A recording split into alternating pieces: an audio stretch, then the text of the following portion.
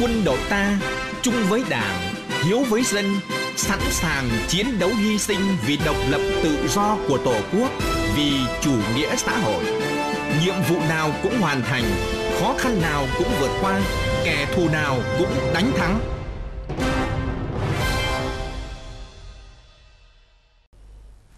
Kính chào quý vị và các bạn. Mời quý vị và các bạn theo dõi chương trình truyền hình Quân khu 5. Trong chương trình hôm nay có những nội dung chính sau đây.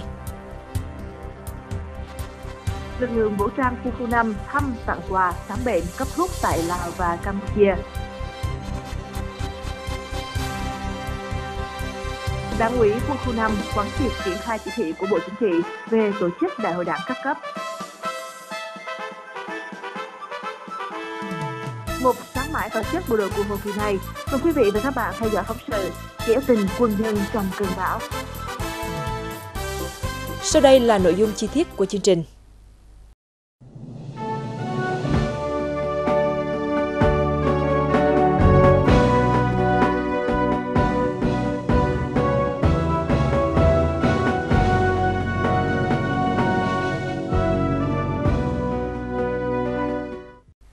Thưa quý vị và các bạn, thực hiện chương trình phối hợp giữa quân khu 5 với các tỉnh Đông Bắc Campuchia và 4 tỉnh Nam Lào, Bộ Tư lệnh Quân khu 5 đã chỉ đạo Bộ Chỉ huy quân sự các tỉnh, thành phố tổ chức các đoàn công tác sang thăm, tặng quà, khám chữa bệnh cho người dân hai nước bạn. Ghi nhận sau đây của nhóm phóng viên và cộng tác viên chương trình. Tại các cụm bản Don Xe, Chambi, Nguadem, Bắc Son và bản Đưa của huyện Sana Sabum, tỉnh Champasak, Lào, trận lũ kéo dài từ nhiều tháng qua đã gây nhiều thiệt hại về người và tài sản. Đoàn cán bộ y bác sĩ Bệnh viện Đa khoa và Bộ Chỉ huy quân sự tỉnh Quảng Ngãi đã khẩn trương khám bệnh, cấp thuốc, tư vấn cho người dân cách bảo vệ sức khỏe, phòng tránh các bệnh như sốt rét, bệnh ngoài da, viêm khớp, hướng dẫn biết cách vệ sinh môi trường. Trước sự ân cần tận tình của bộ đội Việt Nam, người dân nước bạn ai nấy đều vui vẻ, an lòng. nó thằng หน่วยงาน Hôm À, nay con nghe thăm- tin đoàn cán bộ con quân số dân số y Việt Nam Bộ Chỉ huy quân sự tỉnh xin Quảng vai Ngãi trò sang thăm, tặng quen quà, khám bệnh và này cấp thuốc cho người dân về chúng tôi ở con đây. này, Bà xui con vui nữa. lắm, vui như đón người thân từ xa về vậy. Nay, bà con ngủ dậy rất sớm để đón bộ บ้าน đội พัฒ Việt นาด Nam อนแซ่ sang. Tình cảm của bộ đội Việt Nam đối với chúng tôi, chúng tôi không bao giờ quên. Trong chiến tranh, bộ đội tình nguyện Việt Nam sẵn sàng hy sinh để cứu lấy đất nước chúng tôi. Còn trong thời bình, bộ đội Việt Nam luôn quan tâm các anh không quãng đường xa đến đây khám bệnh, cấp phát thuốc và trao tặng tay những món quà ý nghĩa. Bà con chúng tôi vui mừng khôn xiết. Còn đây là xã Semoronum, huyện Orang, tỉnh Mondulkiri, Vương quốc Campuchia. Toàn xã có 778 hộ, đa số là hộ nghèo. Cơ sở vật chất y tế, trang thiết bị khám chữa bệnh tại địa phương thiếu thốn, lại cách xa bệnh viện, huyện, tỉnh, nên người dân ít có điều kiện được chăm sóc sức khỏe. Thay mặt chính quyền huyện Orang, rất cảm ơn sự hỗ trợ giúp đỡ của bộ đội Việt Nam. Bộ Chỉ huy quân sự tỉnh Đắk Nông cũng đã khám bệnh, phát thuốc và tặng quà cho nhân dân huyện Orang rất là nhiều lần. Tôi mong muốn bộ đội Việt Nam tổ chức thêm nhiều đợt khám bệnh như thế này nữa để bà con ở các phum của chúng tôi được khám bệnh, tuyên truyền về cách phòng bệnh cho bản thân. Những ngày qua, các đoàn công tác của Bộ Chỉ huy quân sự các tỉnh Phú Yên, Khánh Hòa, Gia Lai, Đắk Lắk, Đắk Nông đã trao tặng 850 suất quà, mỗi suất trị giá 500.000 đồng, cấp phát 5.200 đơn thuốc, hỗ trợ sửa chữa 15 ngôi nhà, trị giá mỗi ngôi nhà 10 triệu đồng tại các tỉnh Stung Stumteng, Ratanakiri, Mundunkiri, Vương quốc Campuchia. Các đoàn công tác của Bộ Chỉ huy quân sự thành phố Đà Nẵng, Bộ Chỉ huy quân sự tỉnh Quảng Nam, Quảng Ngãi, Bình Định, Con Tum, Ninh Thuận đã trao tặng 930 xuất quà, mỗi suất trị giá 500.000 đồng, cấp phát hơn 6.200 đơn vị thuốc, hỗ trợ sửa chữa 15 ngôi nhà, trị giá mỗi ngôi nhà 10 triệu đồng tại các tỉnh Salavan, Sekong, Champasak, Atabu, Lào, với tổng kinh phí gần 4 tỷ đồng. Đây là một cái chủ trương và cũng là một trong cái nội dung mang ý nghĩa chính trị rất là cao. Mục đích của nó là nhằm tăng cường cái khối đoàn đoàn kết giữa nhân dân, lực lượng vũ trang giữa hai quốc gia dọc tuyến biên giới thông qua cái việc thăm, tặng quà, cấp thuốc. Đây cũng là tăng thêm cái tình đoàn kết truyền thống giữa hai quốc gia. Những việc làm đầy tình cảm và trách nhiệm của cán bộ chiến sĩ lực lượng vũ trang quân khu 5 đã để lại hình ảnh tốt đẹp của bộ đội Việt Nam trong lòng chính quyền và nhân dân hai nước bạn. Đây là một trong những hoạt động mang ý nghĩa cao đẹp, kế thừa truyền thống đoàn kết gắn bó hữu nghị keo sơn giữa nhân dân Việt Nam, Lào và Campuchia. Tại Đà Nẵng, Thường vụ Đảng ủy Bộ Tư lệnh Quân khu 5 đã tổ chức quán triệt triển khai thực hiện chỉ thị của Bộ Chính trị, Thường vụ Quân ủy Trung ương và Đảng ủy Quân khu về Đại hội Đảng các cấp tiến tới Đại hội đại biểu toàn quốc lần thứ 13 của Đảng. Tại hội nghị, hơn 200 đại biểu là bí thư, phó bí thư, chủ nhiệm Ủy ban kiểm tra các tổ chức đảng, được nghe Thiếu tướng Trịnh Đình Thạch, bí thư đảng ủy, chính ủy quân khu, quán triệt các nội dung cơ bản của chỉ thị số 35 của Bộ Chính trị, kết luận của Ban bí thư, chỉ thị của Thường vụ Quân ủy Trung ương và Đảng ủy quân khu về triển khai Đại hội đảng các cấp nhiệm kỳ 2020-2025. Trên cơ sở các nội dung trên, Thường vụ Đảng ủy Quân khu 5 lưu ý các đơn vị một số vấn đề về công tác nhân sự, làm tốt công tác bảo vệ chính trị nội bộ, phối hợp chặt chẽ cấp ủy địa phương, chuẩn bị chu đáo mọi mặt để tổ chức Đại hội Đảng các cấp thành công, tiến đến Đại hội lực lượng vũ trang quân khu lần thứ 10 và Đại hội đại biểu toàn quốc lần thứ 13 của Đảng. Tại Đà Nẵng, Quân khu 5 vừa tổ chức hội nghị đánh giá kết quả kiểm tra nhiệm vụ quân sự quốc phòng và đối thoại dân chủ năm 2019. Thời gian qua, quân khu đã thành lập các đoàn công tác tiến hành kiểm tra nhiệm vụ quốc phòng quân sự địa phương tại các cơ quan đơn vị trên địa bàn.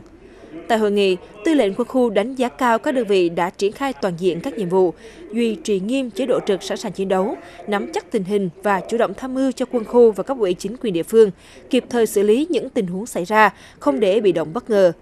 Nhiều cơ quan đơn vị đã làm tốt công tác đối thoại dân chủ, kịp thời đáp ứng tâm tư nguyện vọng chính đáng của bộ đội. Đây là hai nội dung quan trọng làm cơ sở để quân khu tiếp tục lãnh đạo chỉ đạo thực hiện nhiệm vụ tốt hơn trong thời gian tới. Đồng thời, Tư lệnh quân khu cũng yêu cầu các cơ quan đơn vị khắc phục những hạn chế còn tồn động và hoàn thành tốt các mục tiêu chỉ tiêu còn lại của năm 2019. Cũng trong thời gian này, tại Đà Nẵng, Quân khu 5 và Quân khu 7 tổ chức tọa đàm khoa học đề tài, nghiên cứu tổ chức hoạt động của Ban Chỉ huy tình trạng khẩn cấp về quốc phòng cấp tỉnh trong khu vực phòng thủ tỉnh, thành phố. Thiếu tướng Nguyễn Văn Nam, Phó Tư lệnh Quân khu 7 nhấn mạnh, những năm qua, Quân khu 5 tổ chức thành công nhiều cuộc diễn tập khu vực phòng thủ, trong đó có cuộc diễn tập được Bộ Quốc phòng chỉ đạo làm điểm để rút kinh nghiệm trong toàn quân. Tại buổi tọa đàm, chủ nhiệm đề tài đã nêu ra 10 vấn đề để các đại biểu dự tọa đàm trao đổi. Với tinh thần phát huy trí tuệ tập thể, dân chủ, đóng góp ý kiến của các đại biểu, ban chủ nhiệm đề tài tiếp thu, tiếp tục nghiên cứu bổ sung hoàn chỉnh, bảo đảm đề tài tính khoa học cao và áp dụng vào thực tiễn.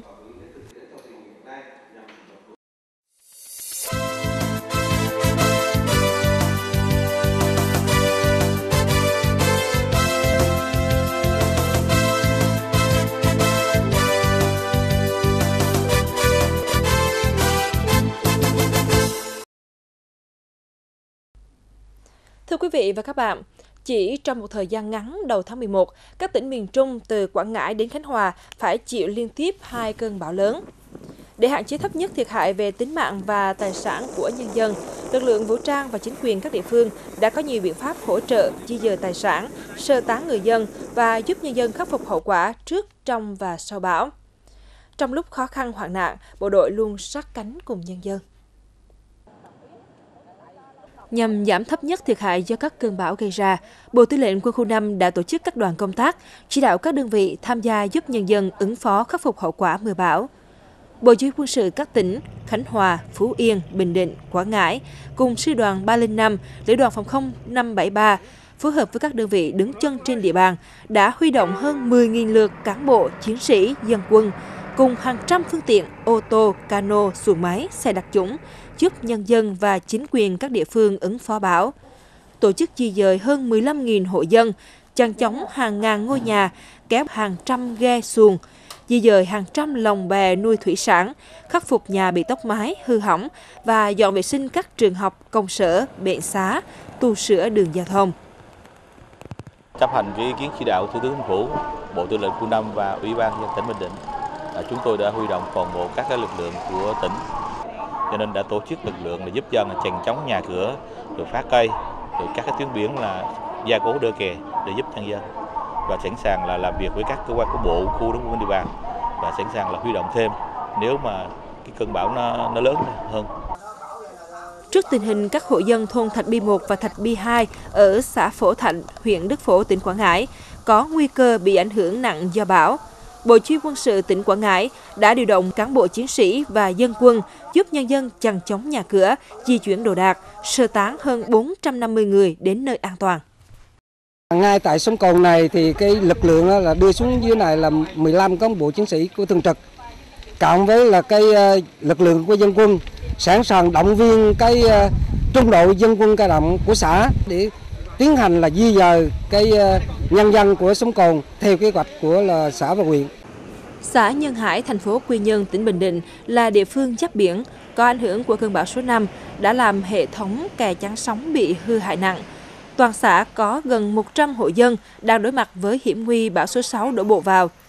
Giúp nhân dân ứng phó, gần 200 cán bộ chiến sĩ Bộ Chỉ huy quân sự tỉnh Bình Định cùng lực lượng công an, biên phòng đã khẩn trương giúp nhân dân chằng chống nhà cửa, di dời người và tài sản đến nơi trú tránh an toàn. Cái mong muốn của lãnh đạo địa phương và nhân dân á, cũng mong muốn là được là nhà nước, đặc biệt là cấp trung ương, cấp tỉnh à, quan tâm hỗ trợ để mà làm cái đê kè gọi là cái bờ kè chính sống à, nói chung là cũng để bảo vệ cho nhà cửa của nhân dân liên tiếp bão chồng bão khiến cho nhiều hộ dân ở xã Phước Hòa, huyện Tùy Phước rơi vào cảnh khó khăn. Đây là những gì còn lại sau cơn bão. Ngôi nhà này đã gắn bó với ông Trần Minh Hóa hơn nửa đời người, giờ chỉ còn đóng gạch vụn. Ông chỉ biết gom nhặt những gì còn sót lại của ngôi nhà. Và cũng đã nhiều ngày qua, vợ chồng ông không còn nơi hương khói cho người cha của mình là liệt sĩ. Hai vợ chồng ốm yếu, bệnh tật nên khó khăn đang chồng chất. Tôi bệnh tật cái tay này yếu, còn giờ ôm nhỏ, con không làm gì được. Bữa nay rồi đây giúp đỡ tôi, tôi thành thật cảm ơn. Qua cơn bão vừa rồi thì trên địa bàn nhiều gia đình bị ờ, tóc mái, sập đổ vào nhà cửa, bà con đang rất khó khăn về nhà ở. Thực hiện mệnh lệnh của Bộ Chiến sự tỉnh, chúng tôi ngay lập tức có mặt tại nơi này,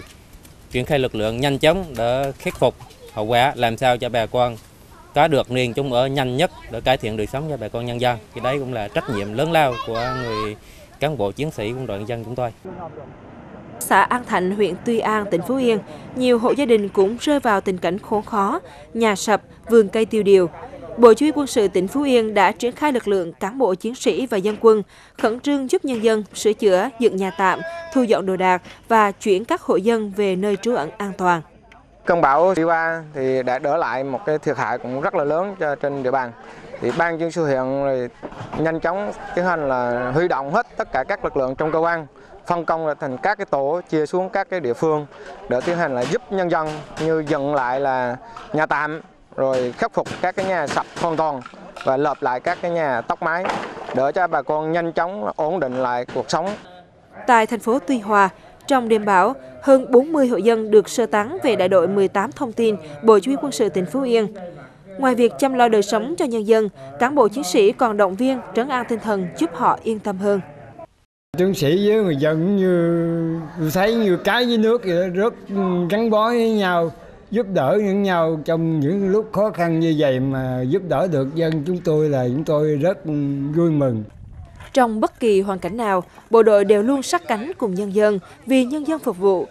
Tình cảm đó đã làm ngời sáng thêm hình ảnh thân thương gắn bó với nhân dân của bộ đội Cụ Hồ.